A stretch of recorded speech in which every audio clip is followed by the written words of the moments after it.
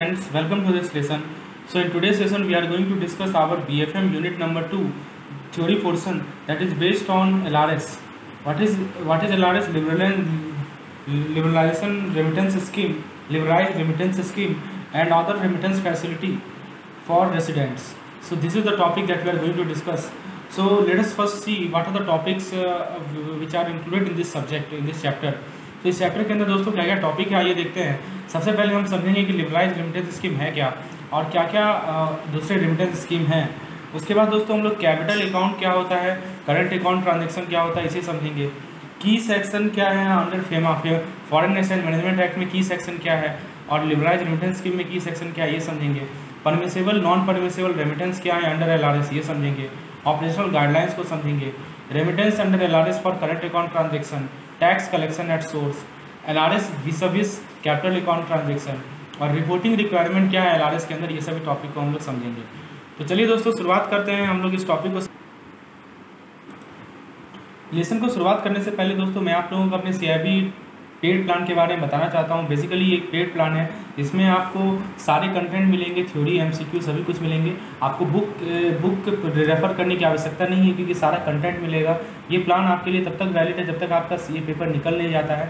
हम लोग चार पेपर पाँच पेपर को कवर कर रहे हैं। A V M B F M B R L A B F M और elective paper H R M आपको इसके अंदर unit wise theory video unit wise theory M theory PDF unit wise MCQ video unit wise MCQ PDF इसके अलावा quick revision session मिलेगा। Plan का cost है सात सौ निन्यानवे रुपया वीडियोज़ प्लस पीडीएफ के लिए और फोर फोर्टी नाइन रुपया इलेक्टिव पेपर के लिए। और यदि केवल पीडीएफ की रिक्वायरमेंट है तो टू नाइन्टी नाइन रुपीज़ है। यदि आप सबको एक साथ परचेज करेंगे तो आपको ट्वेंटी परसेंट ऑफ़ है। डिटेल जानकारी दोस्तों, आप मुझे इस नंबर पर व्हाट्सएप करके प्राप्त कर सकते हैं। नंबर आपके स्क्रीन पर दोस्तों शो किया गया है। So you can get the detail I WhatsApp me on this number now let's continue our today session तो फ्रेंड्स हम लोग डिस्कस कर रहे थे लिबरलाइज लिमिटेड स्कीम के बारे में। So the first topic that we have to discuss is दोस्तों, ये जो हमारा ऑब्जेक्टिव क्या है, ये जो स्कीम है हमारा लिबरलाइज लिमिटेड स्कीम है, ये हेल्प करता है इंडिविजुअल्स को ताकि वो फंड रिमिट कर सके बाहर, विदेश में। ठीक है? चाहे वो करंट अकाउंट ट्रांजेक्शन हो या कैपिटल अकाउंट ट्रांजेक्शन ये क्या होता है? हम लोग बात करेंगे इसके बारे में। तो ये स्कीम किसके लिए अवेलेबल है? रेसिडेंट के लिए available this scheme is available to resident individual ठीक है? इसके अंदर दोस्तों माइनर्स भी आते हैं। देखिए, ये स्कीम हेल्प करता है। कब ये स्टार्ट हुआ था दोस्तों? चार फरवरी 2004 को ये स्कीम स्टार्ट हुआ था। और इस स्कीम के अंदर दोस्तों आपको, आप रेमिटेंस कर सकते हैं। रेजिडेंट इंडिविजुअल को हेल्प करता है कि वो रेमिट भेज सकता है, बाहर विदेश में पैसा भेज सकता है करंट और कैपिटल अकाउंट ट्रांजेक्शन के लिए। ये स्कीम अवेलेबल है रेजिडेंट इंडिविजुअल के लिए कॉरपोरेट्स के लिए पार्टनरशिप फर्म के लिए हिंदू एचयूएफ के लिए दोस्तों, फिर उसके बाद ट्रस्ट के लिए और एन के लिए। सभी के लिए दोस्तों हम लोग ये ये फंड हमारा अवेलेबल है। उसके बाद दोस्तों, अब बात करते हैं कि कैपिटल अकाउंट ट्रांजेक्शन क्या होता है और करंट अकाउंट ट्रांजेक्शन क्या होता है। दोनों के बीच में क्या बेसिक डिफरेंस है। सो फ्रेंड्स देखिए फेमा में डिफाइन ऐसे किया गया है कि कैपिटल अकाउंट ट्रांजेक्शन मीन्स ऐसा ट्रांजेक्शन जो कि हमारे एसेट या लाइबिलिटीज़ को चेंज कर दे। आप देखिए एसेट के अंदर लाइबिलिटीज़ के अंदर कंटिजेंट लाइबिलिटीज़ भी आते हैं। जिनको हमें तुरंत ज़रूरत पड़ती है कंटिजेंसी में ज़रूरत पड़ती है। ठीक है तो जिससे आप एसेट लाइबिलिटीज़ और कंटिजेंट लाइबिलिटीज़ को क्या करते चेंज कर दे। Outside India of person resident in India और asset liability in India of person resident outside देखिए, वो क्या रहा है? कि कोई मान लीजिए कि भारत के अंदर रह रहा है, इंडिया इंडिया के अंदर कोई आदमी है, ठीक है? इसका एसेट लाइबिलिटीज़ या कंटिजेंट लाइबिलिटी चेंज हो गया। या कोई भारत से बाहर कोई आदमी है, इसका एसेट लाइबिलिटीज़ या कंटिजेंट लाइबिलिटी चेंज हो गया, ठीक है? जिस ट्रांजेक्शन के द्वारा चेंज होता है, उसे हम लोग कैपिटल अकाउंट ट्रांजेक्शन करते हैं। एक एग्ज़ाम्पल से समझते हैं दोस्तों इस चीज़ को। मान लीजिए कि कोई रेसिडेंट इंडिविजुअल है कोई भारत में रहने वाला कोई आदमी है रेसिडेंट है ठीक है? वो क्या करता है कि वो विदेश में निवेश करता है। कहाँ पे निवेश करता है? इक्विटी ऑफ़ ओवरसीज़ कंपनी कोई ओवरसीज़ कंपनी है इसके इक्विटी में दोस्तों ये क्या करता है? निवेश करता है। ठीक है? क्या तो, तो उसको शेयर मिलता है दोस्तों। तो इस कारण से क्या होता है? इसका एक एसेट बनता है बाहर। बनता है ना? जैसे वो निवेश करेगा तो वो तो बेसिकली इस इस रेजिडेंट इंडिविजुअल के लिए एसेट है। तो इसका एसेट चेंज हुआ कि नहीं हुआ? बिल्कुल चेंज हुआ। तो ये जो एग्ज़ाम्पल है, ये शो कर रहा है दोस्तों कैपिटल अकाउंट ट्रांजेक्शन को। राइट चलिए तो एक एग्ज़ाम्पल के द्वारा मैंने आपको समझाया कि कैपिटल अकाउंट ट्रांजेक्शन क्या होता है। एक और एग्ज़ाम्पल लेते हैं दोस्तों। मान लीजिए कि कोई रेजिडेंट इंडिविजुअल है, ठीक है? वो वो क्या करता है कि ये रेजिडेंट इंडिविजुअल है, ठीक है? वो क्या करता है कि किसी विदेश के प्रॉपर्टी में इन्वेस्ट करता है। कहाँ इन्वेस्ट करता है? प्रॉपर्टी में। तो उसको प्रॉपर्टी जब इन्वेस्ट करेगा तो उसको ऑनरशिप मिलेगा ना प्रॉपर्टी का? ऑनरशिप मिलना दोस्तों क्या होगा? वो एक एसेट क्रिएट कर रहा है भारत से बाहर। तो एसेट जब भी जब भी एसेट या लाइबिलिटीज़ जब भी अल्टर होगा अल्टर होने का मतलब चेंज होगा, बढ़ेगा, घटेगा दो ही हो सकता है ना? जैसे इस केस में बढ़ा, इसका एसेट लाइबिलिटीज़ बढ़ गया, ठीक है आउटसाइड इंडिया ठीक है। कोई भी पर्सन जो कि भारत का, भारत के अंदर, भारत का निवासी है, उसका भारत से बाहर कोई एसेट या लाइबिलिटी बढ़ रहा है इसके अंदर कंटिजेंट लाइबिलिटी है। या मान लीजिए कि कोई बाहर का पर्सन है, उसका एसेट एंड लाइबिलिटी इंडिया में बढ़ रहा है तो मान लीजिए कि कोई आदमी यूएसए का है, वो भारत में आकर कहीं ज़मीन खरीदा ऑनरशिप लिया तो उसका एसेट बढ़ा ना भारत में तो ये भी हमारा कैपिटल अकाउंट ट्रांजेक्शन है। तो वैसा ट्रांजेक्शन जिसमें किसी किसी रेजिडेंट इंडिविजुअल का इंडिया से बाहर, या किसी नॉन रेजिडेंट इंडिविजुअल का इंडिया के अंदर कैपिटल या एसेट घटता है, बढ़ता है, कुछ भी होता है चेंज होता है तो उसको हम लोग कैपिटल अकाउंट ट्रांजेक्शन कहते हैं। चीज़ें समझ में आ गई। अब बात करते हैं करंट अकाउंट ट्रांजेक्शन की। करंट अकाउंट ट्रांजेक्शन में क्या होता है दोस्तों? एक ऐसा ट्रांजेक्शन जिसमें जो कि कैपिटल अकाउंट के अलावा, ठीक है, और इसके अंदर दोस्तों ट्रेड से रिलेटेड पेमेंट लोन पे जो इंटरेस्ट मिलता है, जब आप ब्याज देते हैं, ब्याज लेते हैं तो आपको इंटरेस्ट देना पड़ता है ना? इंटरेस्ट ऑन लोन इन्वेस्टमेंट पे जो इनकम हुआ एक्सपेंसेस पे जो एक्सपेंसेस हुआ, जो कि ट्रैवल से कनेक्टेड है फैमिली मेंटेनेंस से कनेक्टेड है मेडिकल ट्रीटमेंट से कनेक्टेड है तो ये सभी हमारे करंट अकाउंट ट्रांजेक्शन आते हैं। ठीक है? तो करंट अकाउंट ट्रांजेक्शन का मतलब क्या हुआ कि कैपिटल अकाउंट ट्रांजेक्शन के अलावा जो भी हमारा ट्रांजेक्शन होता है एग्ज़ाम्पल के तौर पर ट्रेड से रिलेटेड इंटरेस्ट ऑन लोन से रिलेटेड इनकम ऑन इन्वेस्टमेंट से रिलेटेड एक्सपेंसेस से रिलेटेड जो भी खर्चा आता है, वो वो भी ट्रांजेक्शन होता है, उसको हम लोग करंट अकाउंट ट्रांजेक्शन कहते हैं। एक एग्ज़ाम्पल लेते हैं दोस्तों। मान लीजिए कोई पेरेंट्स हैं, ठीक है? वो अपने डिपेंडेंट सन या डॉटर को पैसा भेज रहे हैं। जैसे मान लीजिए कि आपका आपका आपका लड़का है जो कि विदेश में पढ़ रहा है यूएसए में पढ़ रहा है यूएसए में किसी अच्छी यूनिवर्सिटी में पढ़ रहा है, आप उसे पैसा भेज रहे हैं राइट तो किस लिए पैसा भेज रहे हैं? उसके एजुकेशन एक्सपेंस के लिए स्टूडेंट को अब्रोड मेंटेनेंस के लिए। तो ये आपका करंट अकाउंट ट्रांजेक्शन होगा। बहुत सिंपल डेफिनेशन है। तो जब भी आपका एसेट या लाइबिलिटी बढ़ता है विदेश में, या विदेशों का बढ़ता है इंडिया में तो उसको करंट उसको कैपिटल अकाउंट बोलते हैं, और नाम ही में नाम में लिखा हुआ है कैपिटल और जब भी आप पैसा भेज हैं ट्रेड से related interest on loan income on investment expenses travel family maintenance medical treatment तो उसको आप कहते हैं करंट अकाउंट ट्रांजेक्शन चलिए, आपने डेफिनेशन तो समझ लिया। अब हम लोग बात करते हैं दोस्तों की सेक्शन नेक्स्ट टॉपिक है हमारा की सेक्शन अंडर फेमा यानी फॉरेन एक्सचेंज मैनेजमेंट एक्ट में की सेक्शन क्या क्या है? और इसके साथ ही साथ हम लोग एल के बारे में बात करेंगे लिबरलाइज रिमिटेंस स्कीम के बारे में बात करेंगे। दोस्तों, देख सकते हैं कि सब कुछ मैं ऑर्गेनाइज वे में आपके साथ प्रस्तुत कर रहा हूँ। इसी प्रकार से मैं बीएफएम का हर एक lecture I provide you in a particular organise way and each and every concept is make clear so that you can get good marks in the examination and you can clear C I B so ना देखिए, इसके regarding नियम क्या है, कि, की section क्या है दोस्तों? कि no person resident in India मतलब जो ऐसा पर्सन जो कि भारत में नहीं रह रहा हो, वो एक्वायर करेगा होल्ड करेगा, खरीदेगा पॉजेस करेगा या ट्रांसफ़र करेगा, ऐसे किसी फॉरेन एक्सचेंज को या फॉरेन सिक्योरिटी को या किसी इमूवेबल प्रॉपर्टी को जो कि भारत से बाहर है, जब तक it was acquired being a non resident देखिए, समझिए, मान लीजिए कि कोई पर्सन है, वो पहले, वो क्या है नॉन रेजिडेंट है। ठीक है एनआरआई समझते हैं ना, जो भारत में एक दिन तक रहा हो, किसी फाइनेंशियल ईयर में तो एन कहलाता है वो। ठीक है? तो मान लीजिए कि वो आदमी कोई आदमी ये आदमी मान लीजिए राम है। राम जो था जब वो नॉन जब वो यूएसए में था यूएसए में था तो नॉन रेजिडेंट था। तो उसने क्या किया कि आ, कोई फॉरेन एक्सचेंज खरीदा कोई फॉरेन एक्सचेंज ट्रांसफ़र किया या फॉरेन सिक्योरिटी या इमूवेबल प्रॉपर्टी जो कि भारत से बाहर है यूएसए में ही। यूएसए में ही ये ट्रांजेक्शन किया ठीक है? तो जब मान लीजिए ये सभी चीज़ ट्रांसफ़र करना खरीदना फॉरेन सिक्योरिटी ठीक है? तो कहने का मतलब कि कोई भी पर्सन जो कि भारत में रह रहा हो वो ऐसे प्रॉपर्टीज़ को, ठीक है, जो कि भारत से बाहर है, ठीक है, इसको एक्वायर होल्ड ऑन परचेज नहीं कर सकता। यदि मान लीजिए कि ये Bharat unless it was acquired while being non resident provided condition क्या है? ये सभी चीज़ आप एक्वायर कर सकते हैं जब आप नॉन रेजिडेंट हैं तब राइट भारत से बाहर की बात हो रही है। जब आप भारत से बाहर हैं, तब आप एक्वायर कर सकते हैं। भारत में रहकर आप ये सब चीज़ एक्वायर नहीं कर सकते हैं। ठीक है, ये लिखा हुआ है हमारे एक्ट में। और ये कौन सा एक्ट है? सेक्शन फोर है। तो पहले हम लोग बात कर रहे हैं सेक्शन फोर की। की सेक्शन लिखा है ना हमने? तो जो जो इंपॉर्टेंट सेक्शन होगा फेमा का, उसको मैं आपको बता रहा हूँ। तो सेक्शन फोर में क्या लिखा हुआ है कि कोई भी पर्सन जो कि भारत का निवासी हो, वो एक्वायर करेगा होल्ड करेगा ऑन करेगा। ठीक है? नहीं करेगा ऐसा। ठीक है? जब तक वो भारत से बाहर नहीं गया मतलब भारत से बाहर जाकर वो एक्वायर होल्ड पॉजेस सब कर सकता है, लेकिन भारत के अंदर रखकर विदेशी प्रॉपर्टी को नहीं जो रेसिडेंट इंडिविजुअल हैं, उनको परमिशन दिया गया है, वो इन्वेस्ट कर सकते हैं अब्रोड में, ठीक है प्रॉपर्टीज़ में या इक्विटी में, लेकिन उसके लिए भी कुछ गाइडलाइंस है। लेकिन आप क्या नहीं कर सकते? आप एक्वायर नहीं कर सकते, आप होल्ड नहीं कर सकते, आप खरीद नहीं सकते, आप पॉजेस नहीं कर सकते किसी फॉरेन एक्सचेंज को या फॉरेन सिक्योरिटी को या इमूवेबल प्रॉपर्टी को जो कि भारत से बाहर है। तो आप क्या कर सकते हैं? आप इन्वेस्ट कर सकते हैं निवेश कर सकते हैं प्रॉपर्टीज़ में इन्वेस्ट कर सकते हैं इक्विटी में निवेश कर सकते हैं, ठीक है, भारत में रहते हुए। तो ये कहा गया है सेक्शन फोर में। सेक्शन फोर का मतलब समझ में दोस्तों? कि भारत में कोई यदि रेजिडेंट इंडिविजुअल है तो वो विदेश में किस कहीं इन्वेस्ट कर सकता है प्रॉपर्टी में इन्वेस्ट कर सकता है इक्विटी में इन्वेस्ट कर सकता है, लेकिन उसके लिए भी कुछ गाइडलाइंस है, लेकिन वो क्या नहीं कर सकता?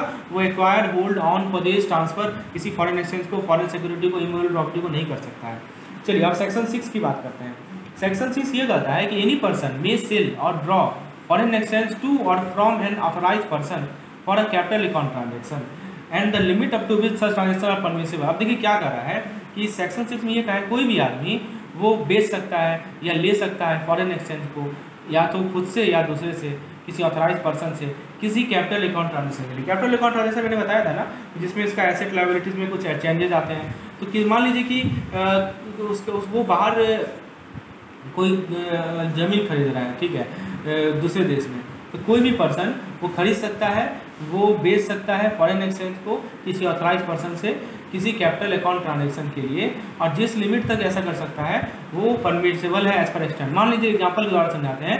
मान लीजिए राम है, ठीक है? तो राम भारत में, भारत का निवासी है, ठीक है? तो उसको उसको कैपिटल अकाउंट ट्रांजेक्शन करना है। क्या करना है? कैपिटल अकाउंट ट्रांजेक्शन करना है। मतलब विदेश में मान लीजिए उसको अपना एसेट बढ़ाना है, या जो भी करना है एसेट बढ़ाना है, मान लीजिए कुछ ज़मीन खरीदना है। तो उसको पैसा चाहिए राइट तो वो क्या करेगा?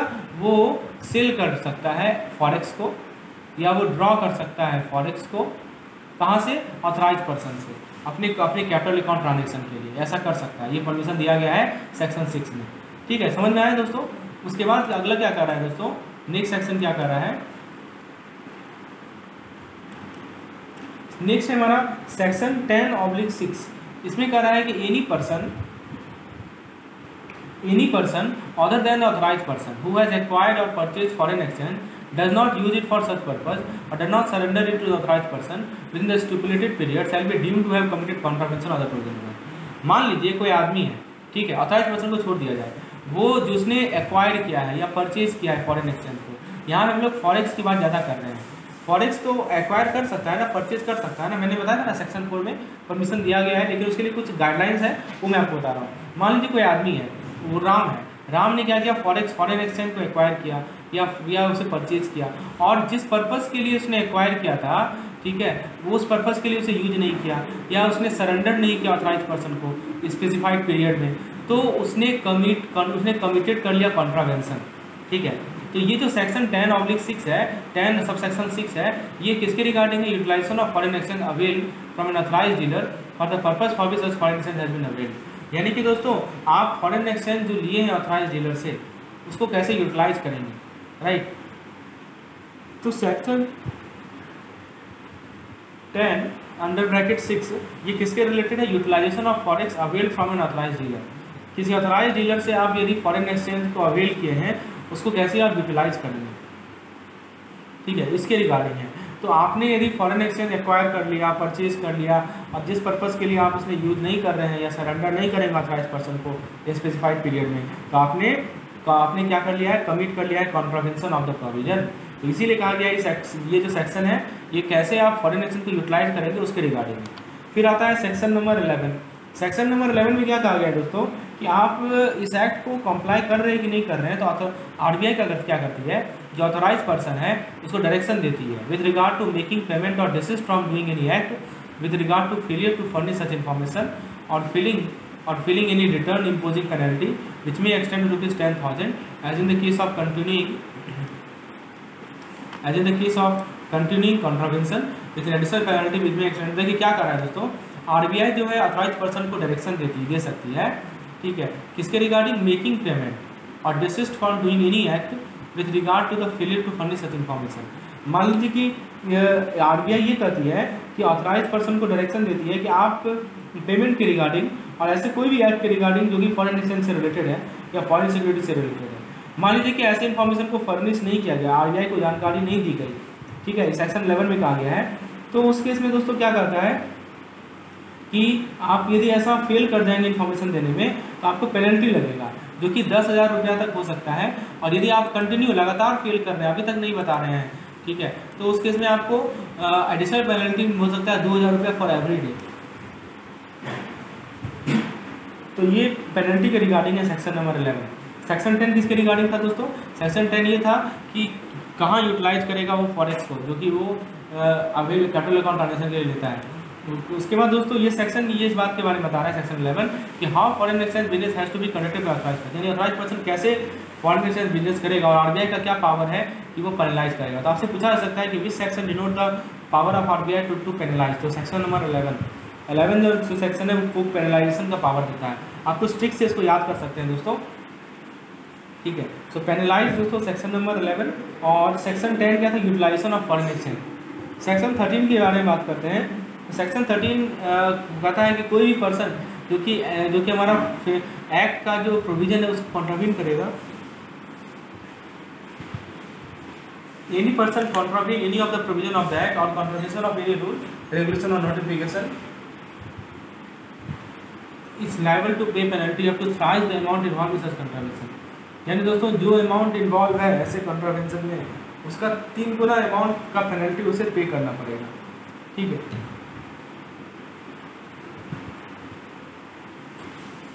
तो दोस्तों, क्या कर रहा है कि मान लीजिए कोई आदमी है जो कि जो एक्ट का प्रोविज़न है, उससे उसको कॉन्ट्राविन कर रहा है, ठीक है? या किसी रूल्स रेगुलेशन में कॉन्ट्राविन कर रहा है तो उसको पेनल्टी देना पड़ेगा। जो भी अमाउंट इन्वॉल्व है, ऐसे कॉन्ट्रावेंशन में उसका तीन गुना पेनल्टी ठीक है? और जब मान लीजिए अमाउंट क्वान्टिफाइबल है तो उसका तीन गुना पेनल्टी देगा, और नहीं तो दो लाख तक का देगा, जहाँ पे कॉन्ट्रावेंशन क्वान्टिफाइबल नहीं है, ठीक है? और दोस्तों, जब कॉन्ट्रावेंशन लगातार चल रहा है तो पाँच हज़ार रुपया प्रतिदिन के हिसाब से उसको पेनल्टी देना पड़ेगा। तो दोस्तों ये सेक्शन जो है सेक्शन नंबर तेरह जो है पेनल्टीज के रिगार्डिंग ठीक है? तो फेमा का प्रोविज़न को यदि कॉन्ट्राविन कीजिएगा तो सेक्शन नंबर तेरह लग जाएगा और आपको पाँच हज़ार रुपया के हिसाब से प्रत्येक दिन पेनल्टी लगेगा। चलिए तो ये तो पॉइंट आपने समझ लिया इंपॉर्टेंट सेक्शन मैंने आपको बताया सेक्शन छः सेक्शन दस सेक्शन ग्यारह सेक्शन तेरह। अब बात करते हैं permissible non permissible remittance under L यानी लिमिटेड रेमिटेंस स्कीम के अंदर कौन सी परमिसिबल रेमिटेंस है कौन सी नॉन परमिसिबल रेमिटेंस है? तो सबसे पहला आता है स्केड्यूल वन क्योंकि हम बात करेंगे नॉन परमिसिबल रेमिटेंस यानी कि प्रोहिबिटेड रेमिटेंस देखिए, इस तरह का रेमिटेंस आप नहीं कर सकते। क्या क्या नहीं कर सकते? रेमिटेंस फॉर मार्जिन और margin call to overseas margin के लिए रेमिटेंस कर रहे हैं। फिर ठीक है? फिर उसके बाद दोस्तों, आप overseas exchange overseas exchange overseas counter party से मार्जिन का एक्सचेंज नहीं कर सकते। उसके बाद क्या है? Payment of commission payment of commission on export made toward equity investment आपने इक्विटी इन्वेस्टमेंट किया, ठीक है? तो आपने एक्सपोर्ट किया तो उसका कमीशन ठीक है? इन जी और डब्ल्यू एस डब्ल्यू एस क्या होता है?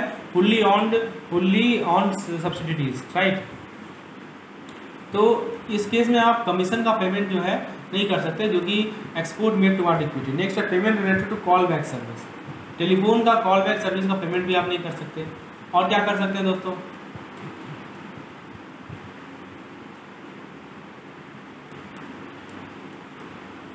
उसके बाद रेमिटेंस टू वर्ड बैंड और प्रोस्क्राइब मैगजीन मान लीजिए कि कोई बैंड मैगजीन है प्रोस्क्राइब मैगजीन है, उसका remittance purchase of foreign currency convertible bond F जो कि इंडियन कंपनी अब्रोड ने इशू किया है, उसको परचेज नहीं कर सकती। ये सभी एग्जाम्पन्स है, ये सभी शेड्यूल वन में शेड्यूल वन में कहा गया है, ये सब रेमिटेंस को प्रोहिबिट आर नॉट परमिटेड ये सब प्रोहिबिट किया गया है।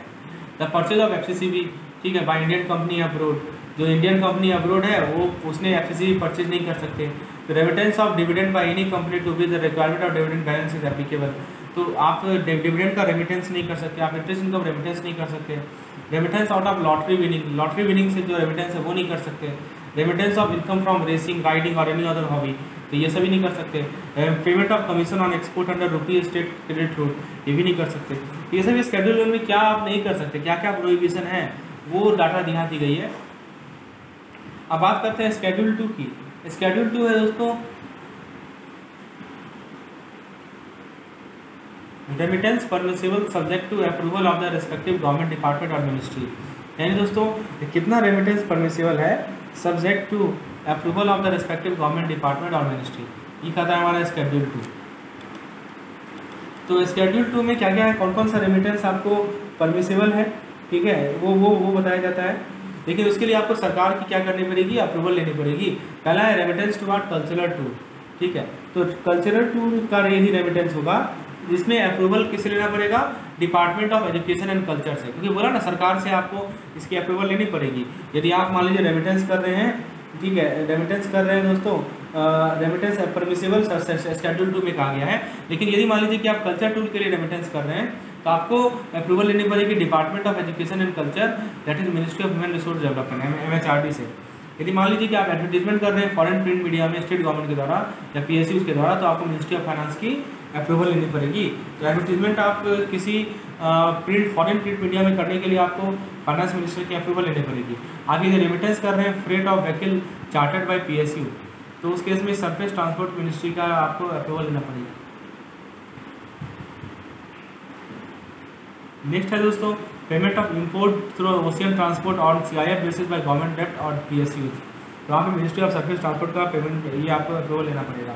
आप यदि इम्पोर्ट का पेमेंट कर रहे हैं, कैसे ओशियन ट्रांसपोर्ट मतलब ओशियन के थ्रू ट्रांसपोर्टेशन हो रहा है, और जो आयात हुआ उसका पेमेंट आप कर रहे हैं, ठीक है और C I F basis C I basis यानी कॉस्ट इंसल्फाइड बेसिस गवर्नमेंट डेप्ट से या पी एस यू से तो वहाँ पे आपको ministry of support transport ministry of surface transport का हेल्प लेना पड़ेगा।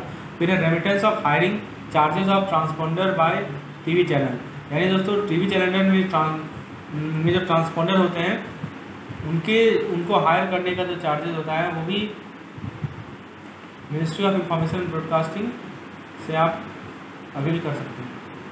फिर remittance of prize money sponsor of sport activities abroad यानी दोस्तों, आप प्राइज मनी का रेमिटेंस है, या कोई स्पोर्ट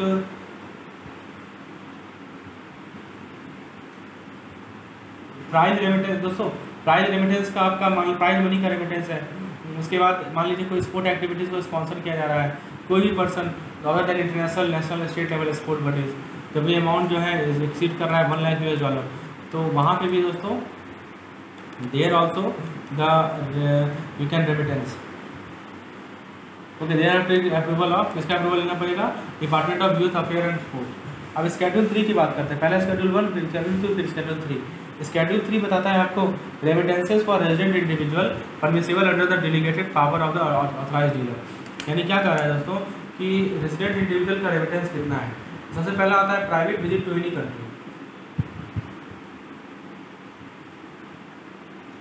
किसी भी कंट्री का मान लीजिए आप प्राइवेट विज़िट कर रहे हैं, इसमें आपको नेपाल और भूटान छोड़ना है, ठीक है? तो वो भी आपका इसके अंदर आएगा। मान लीजिए गिफ्ट या डोनेशन दे रहे हैं तो वो भी आपका आएगा। रेजिडेंट इंडिविजुअल को रेमिटेंस कर रहे हैं। उसके बाद मान लीजिए आप अब्रोड जा रहे हैं एम्प्लॉयमेंट के लिए, वो भी आएगा। ठीक है? तो इसकी सब स्केड्यूल थ्री के पार्ट हैं। परमिसेबल अंडर डेलीगेटेड पावर और अथॉराइज ये सभी अथॉराइज डीलर के अंदर पावर है कि मान लीजिए गिफ्ट है डोनेशन है going approve for employment emigration ठीक है? और क्लोज रिलेटिव का maintenance travel for business by resident individual so these are permitted right these are permitted at per schedule number three schedule one में आपको बताया क्या क्या प्रोहिबिशन है? स्केड्यूल टू में आपको बताया कि कहाँ कहाँ आपको मिनिस्ट्री की गवर्नमेंट गवर्नमेंट ऑफ़ इंडिया की अप्रूवल लेनी पड़ेगी और थर्ड में कहाँ बताया कि आपको ऑथराइज डीलर जो ऑथराइज पर्सन है, वही इन्वॉल्व वही दे सकता है। फिर बात करते हैं दोस्तों ऑपरेशनल गाइडलाइंस की। तो सबसे पहले बात आती है जनरल गाइडलाइन तो पैन मैंडेटरी है। इस स्कीम में पैन मैंडेटरी है। कितना भी अमाउंट रहे पैन देना ही पड़ेगा। परमानेंट अकाउंट नंबर उसके बाद दोस्तों नेक्स्ट क्या है आपका? कि remit fund approve for कम्युनिसिबल account it is schedule three remittance और कम्युनिसिबल कैपिटल अकाउंट ट्रांजेक्शन और कम्बिनेशन ऑफ़ बोथ ठीक है? तो remit fund abroad for permissible कोई भी मान लीजिए current account permissible current account है, ठीक है? तो उस केस में जो फंड अब्रोड है, उसे हम रेमिट कर सकते हैं। Customer to designate a particular branch of the bank through which all remittance are to be made यानी कस्टमर को डेजिग्नेट करना है एक ब्रांच जहाँ से आप सारा रेमिटेंस कर सकते हैं under L R S specially with regard to capital account खासकर कैपिटल अकाउंट ट्रांजेक्शन में जो कस्टमर हैं, उनको एक ब्रांच को डेजिग्नेट करना पड़ेगा। ठीक है? उसके बाद दोस्तों, जो भी फ्री ट्रांजेक्शन है up to overall limit of US S डॉलर पच्चीस टू लैख फिफ्टी थाउज़ेंड मतलब दो लाख पचास हज़ार तक का ओवरऑल लिमिट का जो ट्रांजेक्शन फ्रीली अलाउड है for financial year for for किसी भी परमिसेबल करेंट और capital account transfer of both ठीक है? ट्रांजेक्शन फ्रीली अलाउड है up to overall limit of ढाई लाख. पर फाइनेंशियल ईयर ये यूएस डॉलर में है, ठीक है? तो जो भी कस्टमर है, उसको एक ब्रांच को डिसाइड करना पड़ता है, जिससे सारा रेमिटेंस होगा, खासकर कैपिटल अकाउंट ट्रांजेक्शन के लिए। और दोस्तों, कोई रिस्ट्रिक्शन नहीं है फ्रीक्वेंसी ऑफ़ रेमिटेंस कितना भी आप रेमिटेंस कर सकते हैं फाइनेंशियल ईयर में, लेकिन जो आपका फ्रीली अलॉट वाला है, वो पच्चीस, वो दो लाख पचास हज़ार तक का है फॉर यूएस डॉलर अब मान लीजिए कि एक बार दो लाख पचास हज़ार का आपने रेमिटेंस को कर यूटिलाइज कर लिया। तो कोई फर्दर रेमिटेंस आपको अलाउ नहीं किया जाएगा। समझ रहे बात को? तो ये सभी नियम है जनरल गाइडलाइंस है। पहले का क्या बताया दोस्तों पैन मैंडेटरी है पैन नंबर बहुत ज़रूरी है। दूसरा क्या बताया आपको? दूसरा बताया दोस्तों, आपको आप अप्रूव फंड रेमिट कर सकते हैं परमिसिबल करंट और कैपिटल अकाउंट ट्रांजेक्शन के लिए। फिर तीसरा आपको बताया कि कस्टमर को एक पार्टिकुलर ब्रांच को डिजिग्नेट करना है। थ्रू विच ऑल जिस जिससे सारा रेमिटेंस होगा, खासकर कैपिटल अकाउंट ट्रांजेक्शन फ्रीली जो आप एल आर एस है एल आर एस का अमाउंट है वो है दो लाख दो लाख पचास हज़ार, ठीक है, और US dollar per financial year दोस्तों, कोई रिस्ट्रिक्शन नहीं होना चाहिए रेमिटेंस के फ्रीक्वेंसी पे।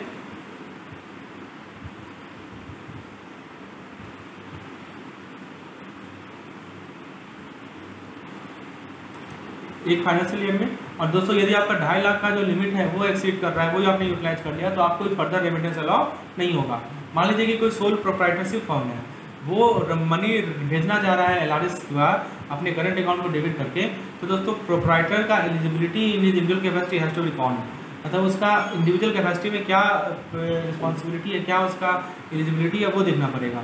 International credit card international debit card and ATM card can be use for current account transaction यदि इंटरनेशनल क्रेडिट कार्ड है इंटरनेशनल डेबिट कार्ड है तो ये सभी को आप इंटरनेशनल इंटरनेशनल ट्रांजेक्शन में यूज़ कर सकते हैं। ये सभी पॉइंट है दोस्तों।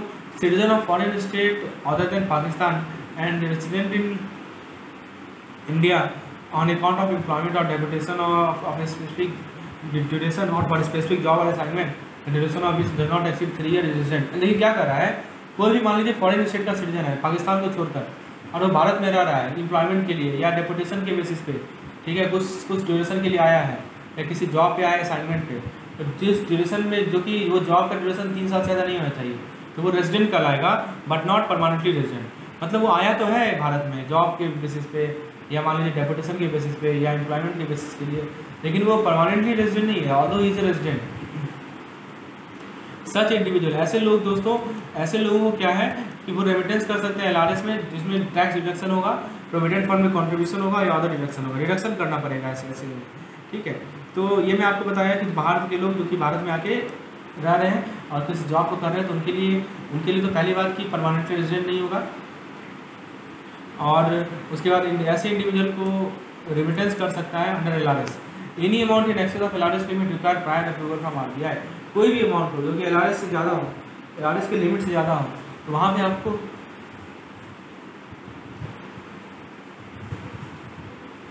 आरबीआई का प्रायर अप्रूवल लेना पड़ेगा। कोई भी अमाउंट हो, जो कि एल के लिमिट से ज़्यादा हो then you have to take the prior approval of RBI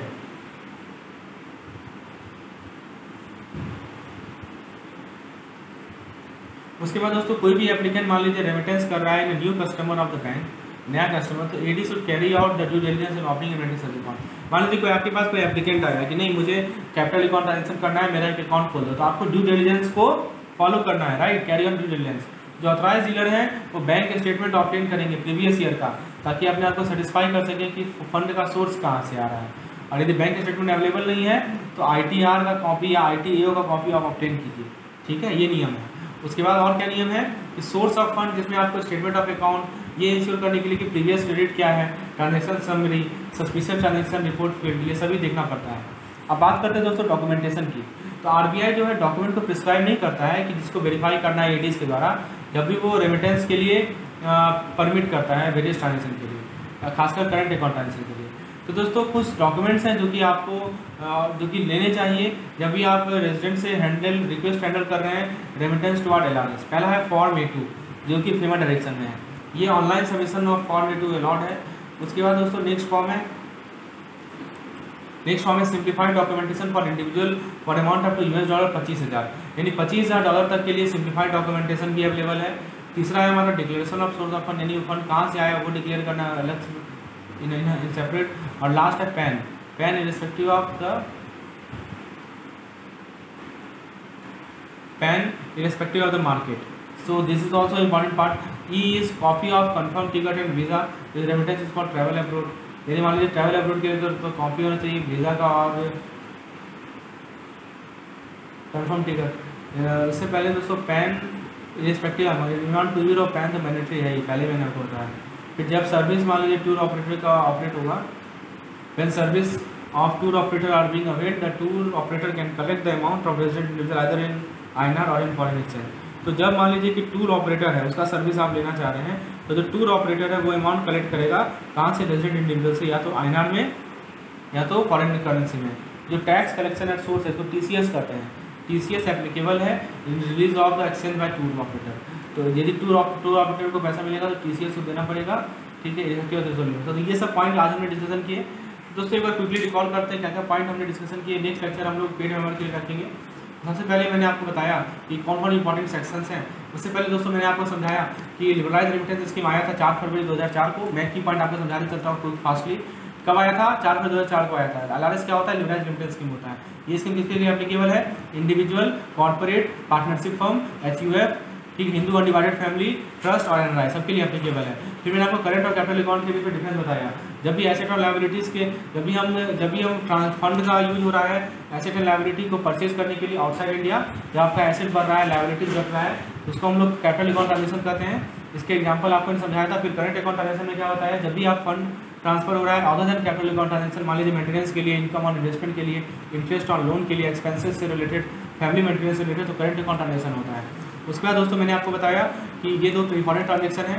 की सेक्शन क्या क्या है? पहला सेक्शन नंबर सिक्स आता है, जो कि कोई भी पर्सन जो कि फॉरेन एक्सचेंज ड्रॉ किया हो ऑथराइज पर्सन से कैपिटल अकाउंट के लिए तो उस पर लिमिट है, वो परमिसिबल है as per the extent regulation है। ये बताया गया है। उसके बाद सेक्शन नंबर टेन आता है।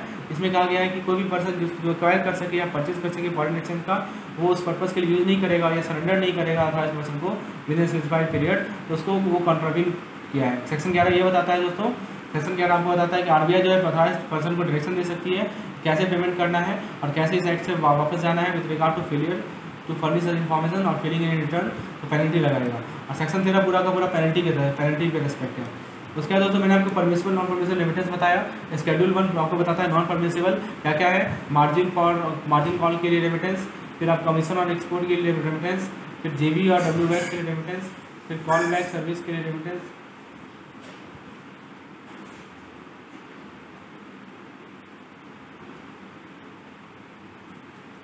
उसके बाद दोस्तों इस स्केड्यूल टू के बारे में आपको बताया कि रेमिटेंस जो कि अप्रूवल लेना पड़ेगा सरकार का तो उसके लिए आपको कुछ एग्जांपल मैंने समझाया था किस किस किस किस केस में आपको सरकार का अप्रूवल लेना पड़ेगा culture tour foreign print media में एडवर्टीजमेंट के लिए, आपको इंपोर्ट करना है ओशियन ट्रांसपोर्ट से, आपको प्राइज मनी का रेमिटेंस ये सभी में लगेगा। शेड्यूल स्केड्यूल थ्री में आपको बताया कि हाँ remittance for resident individual permissible under delegated for of authorise dealer तो इसमें मैंने आपको बताया कि ऑथराइज डीलर का पावर किसे आप, इसके रेमिटेंस करवा सकते हैं।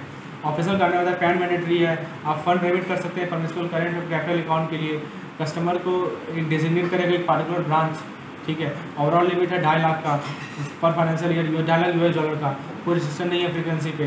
लेकिन दोस्तों, ढाई लाख तक आपने कर लिया, उसके बाद कोई फर्दर रेमिटेंस नहीं होगा।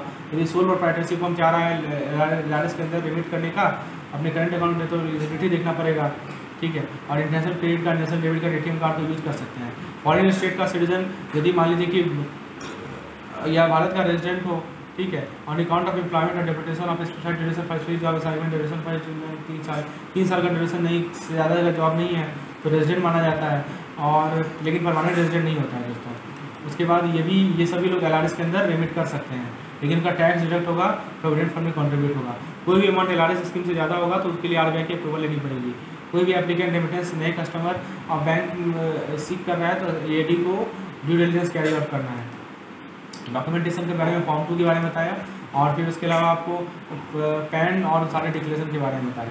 बाकी जो नेक्स्ट लेक्चर है, अगले लेक्चर में हम लोग आगे डिस्कशन करेंगे remittance and largest for current account transaction अभी आपको कैपिटल अकाउंट ट्रांजेक्शन के बारे में आपको समझाया क्या क्या नियम है, ठीक है क्या क्या नियम एप्लीकेबल है अंडर एल अब बात करेंगे हम लोग नेक्स्ट में करंट अकाउंटाइजेशन के आर एस क्या क्या नियम है so this topic is all about theory we are discussing theory we are discussing each and every concept and we will have some um also if you want to to get such type of P D F and videos for all the unit kindly WhatsApp me on the number I will provide you the detail thank you